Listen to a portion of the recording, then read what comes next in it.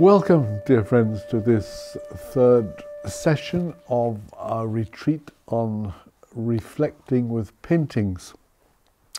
In the last two sessions, we saw the old woman praying the rosary and then her grandson, Jojo. And I invited you to leave where you are in your own life and use your imagination to cross over into the world of people who are totally different from you.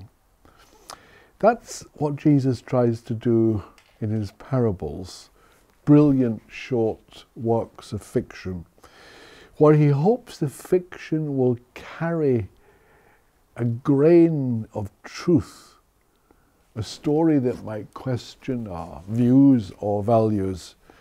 And after listening to his story, we return to our own world, wondering questioning. This week I've chosen a wonderful painting by the Colombian artist Fernando Botero.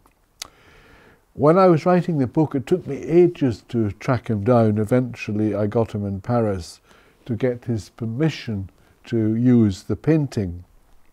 I sent him the script so he could see what I was trying to do with his wonderful image and he replied graciously by return of post, love it, do it.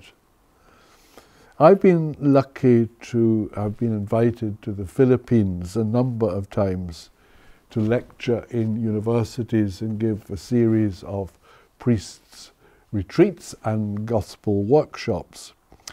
I love the people and my time there, and I've situated this painting as a story of an Italian missionary priest working in the city of Baguio, where I worked for many months.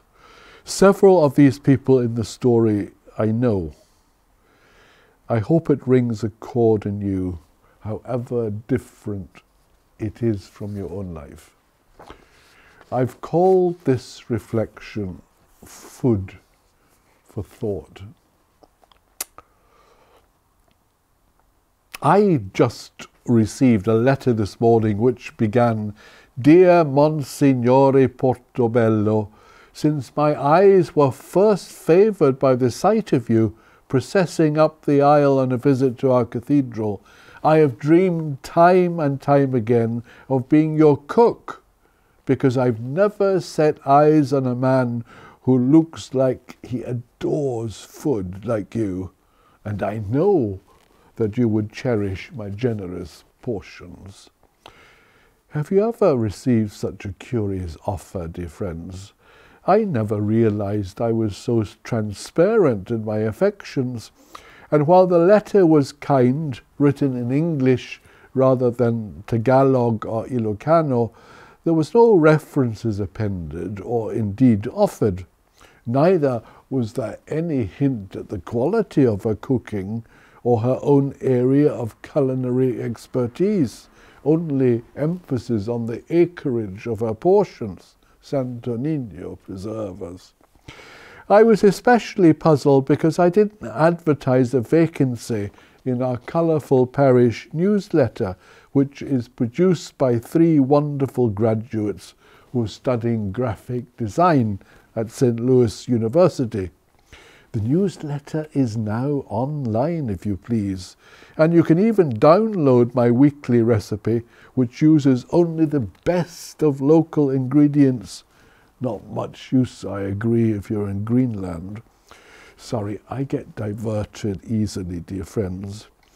If you look at my eyes, which tend to roam around in their own orbits, you might understand my trouble in staying focused for long I have a look of fixed bewilderment, which has always disappointed those who come looking for priestly certainty. Where was I? Oh, yes, the prospective cook.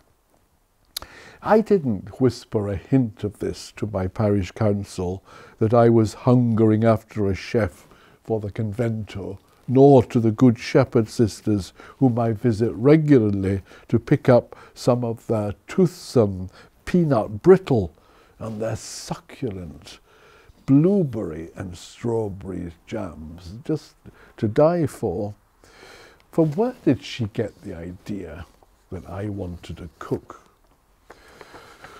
You'd never guess, dear friends, would you, just looking at me, fitted compactly into my clerical dress, that I cook for myself.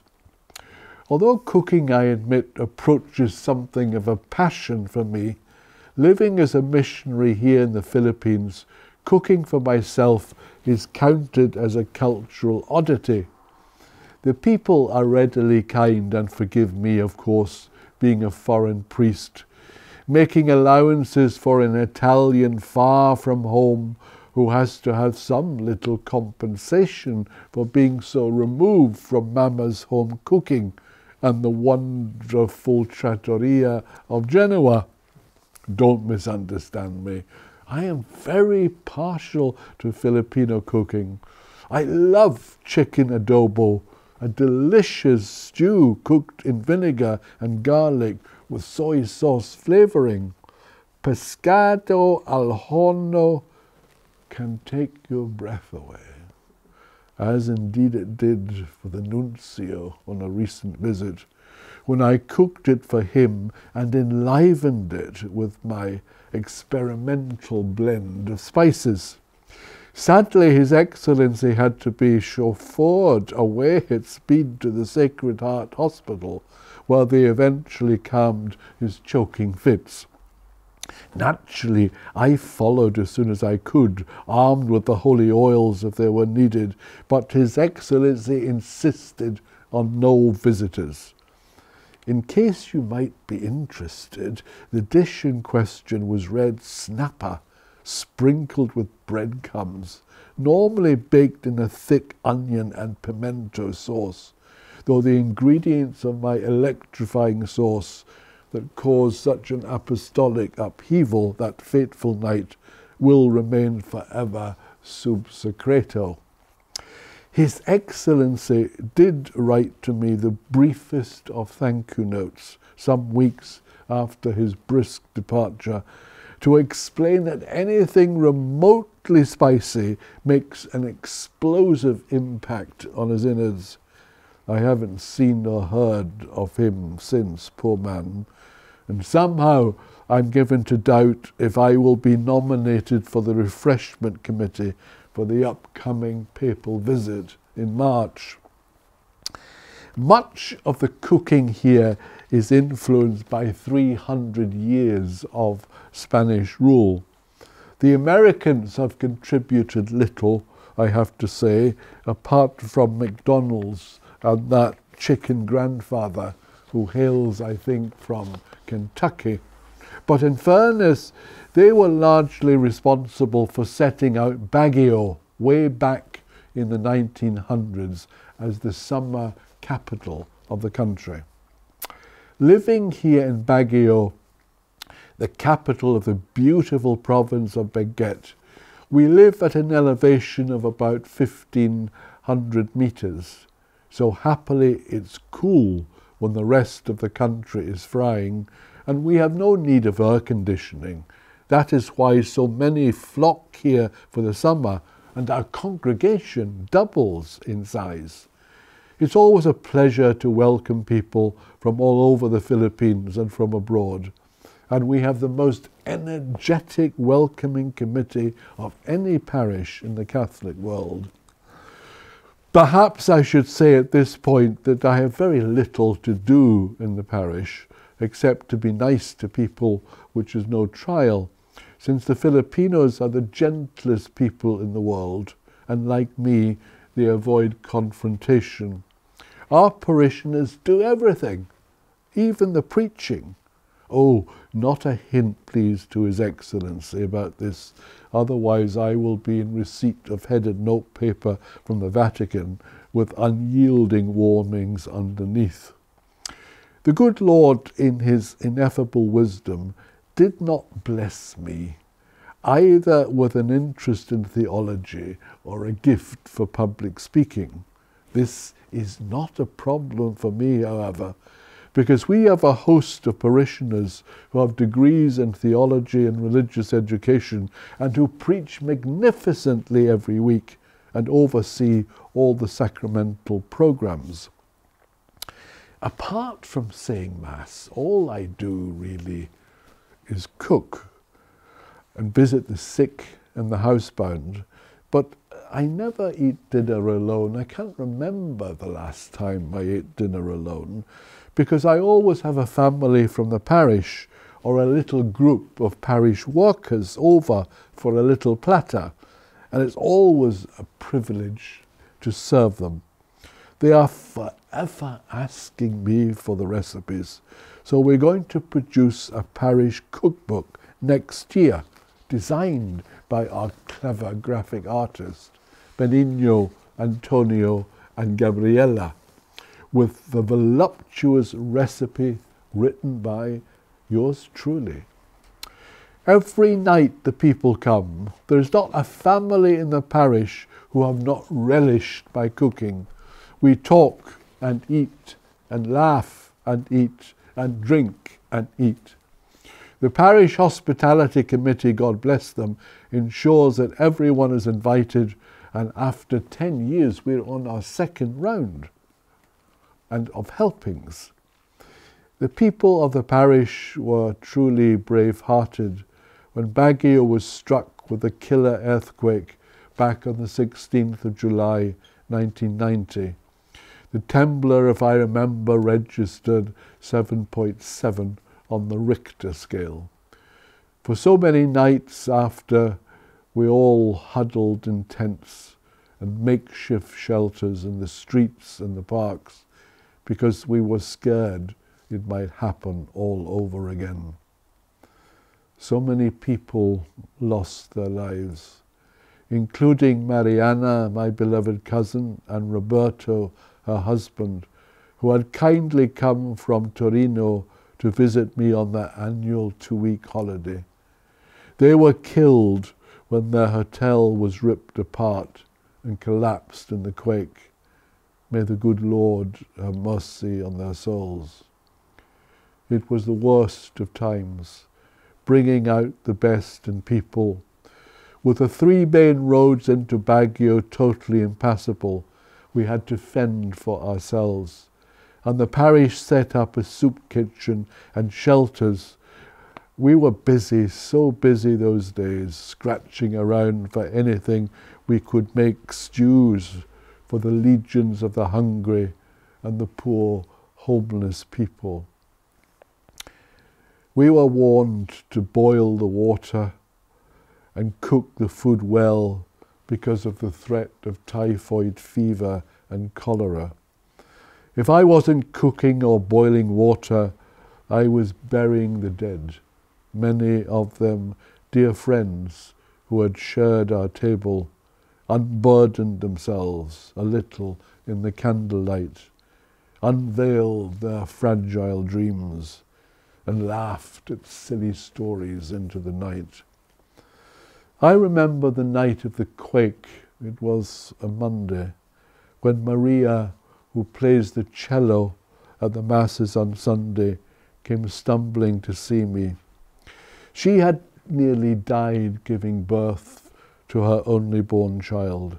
I was there in hospital at the time, and now she held the crushed body of her dead son in her arms, holding him up to me like a broken promise, asking, Why, Monsignore? Why? What words could I say that would make any sense? I stretched out my arms and lifted her dead son from her enfolding embrace, carried him inside the convento to our big kitchen, laid him down on the huge pine table, and together, wordlessly, we washed the tiny body, cleansed the wounds, as tenderly as we could, each signing the holy oil on his forehead and hands. We then wrapped the body around in bath towels, and I carried him into the church, which was filled with people praying, and laid him down before the high altar. I shall never forget the sight as long as I live. The little boy's name was Angelito, and he lay there like an angel fallen from, fright, from flight, too late for the Christmas crib. Some women came up and gathered Maria in their arms and sat her down on the front pew, the front pew, where they held her and rocked her back and forth, like she was their wounded child, breathing out the sighs and sounds of heartache, the growing lamentation heard throughout the city and beyond, throughout the land of the Philippines, eventually becoming one with a huge chorus of sorrow that cries from every corner of the world we prayed the ancient Latin prayer of departure. In paradisum deducant angeli, in tuo adventu suscipiat te martires, et perducant te in civitatem sanctam Jerusalem. Chorus angelorum te suscipiat, et cum Lazaro quondam paupere eternam habeas requiem. Into paradise may the angels lead you. On thy arrival may the martyrs receive thee and bring thee to the holy city of Jerusalem. May the choirs of angels receive thee, and with Lazarus, once a poor man, may thou have eternal rest. Oh, why is it, I asked myself that night, why is it it's always the poorest people in the world who seem to be God's favourite victims? Why are the little people crushed so regularly by nature in floods, in earthquakes, in tsunamis? I wouldn't want to endure that time again, even as purgatory. It takes a long time, even for a long suffering people, to sleepwalk back to routine life again. The pain lingers long after the demolition has been completed, the debris swept up, the buildings repaired or rebuilt. It takes a long time to let go of the dead, leave them to rest in peace, and turn to life again.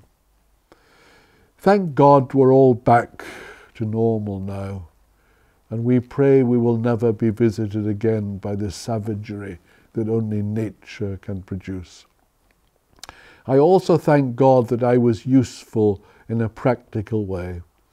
Every day, if it is not raining, I take an afternoon stroll on the Baguio Mountains to my favourite spot, which is bare of any pine trees. And there I say a rosary for dear Mariana and Roberto, for Maria and Angelito, for all the victims of that earthquake, and for those who died the following year in the ashes of Mount Pinatubo. When I think of that earthquake time in our soup kitchen, when everyone was equal in their desperation. I think of Jesus ministering to the 5,000 and see that crowd of hungry followers satisfied by the little his disciples could share with them.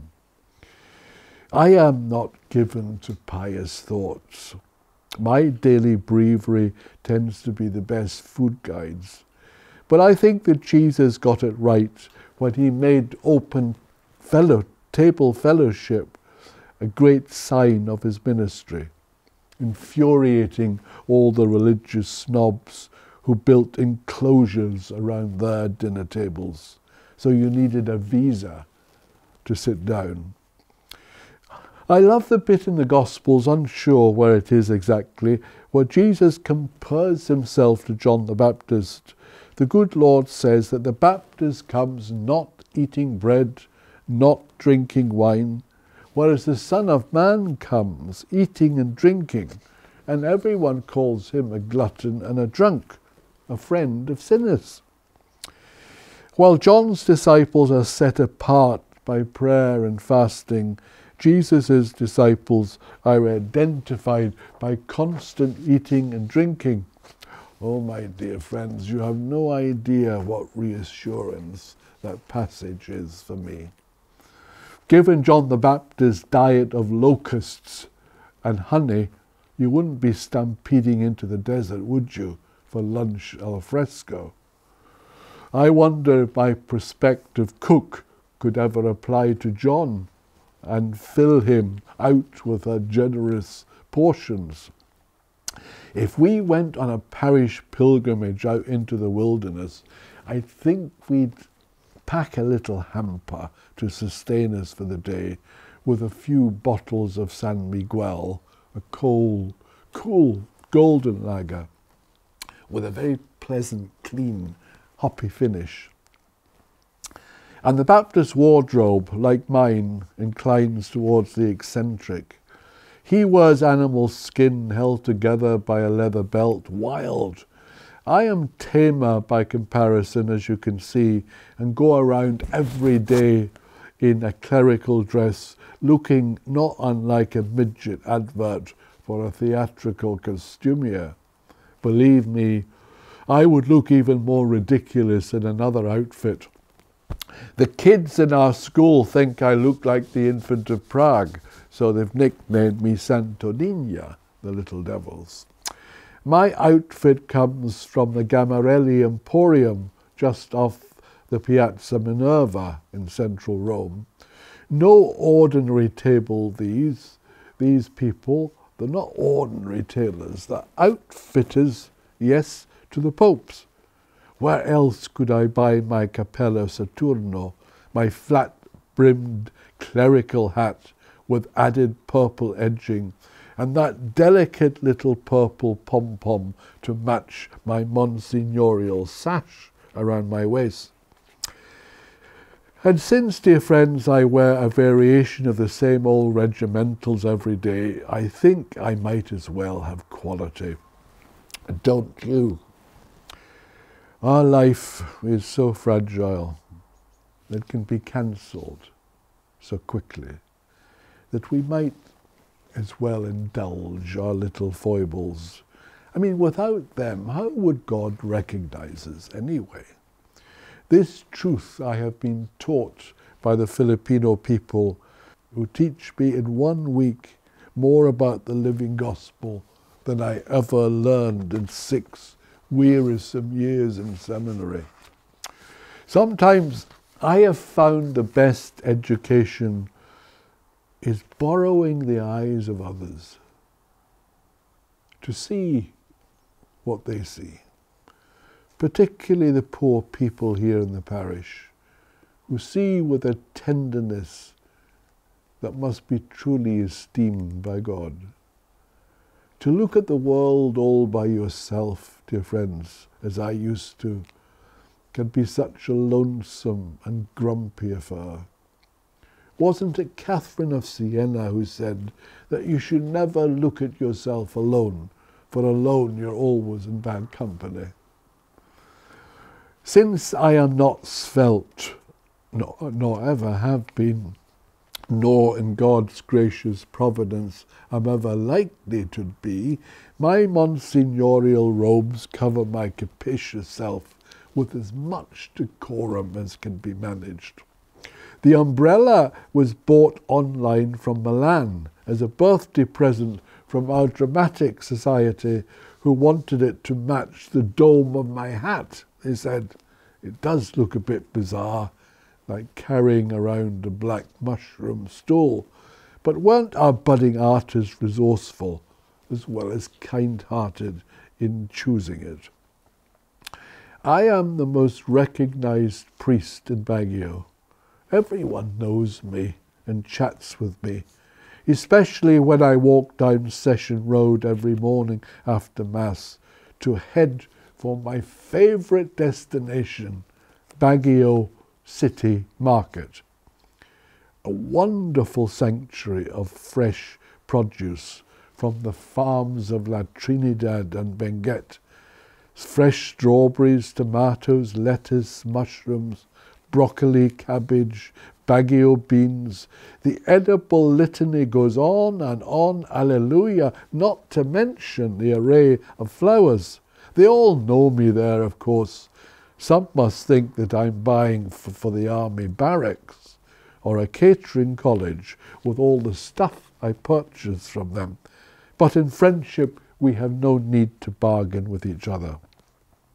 Now, where, where was I? Ah, yes, Jesus and the table. You can see why I rarely preach, dear friends, can't you? Anyway, because of Jesus' indiscriminate welcome to all sorts of weird and wonderful people, he got himself into the most dreadful trouble with the hierarchy, those old religious fusspots who couldn't tell their agnello from their vitello.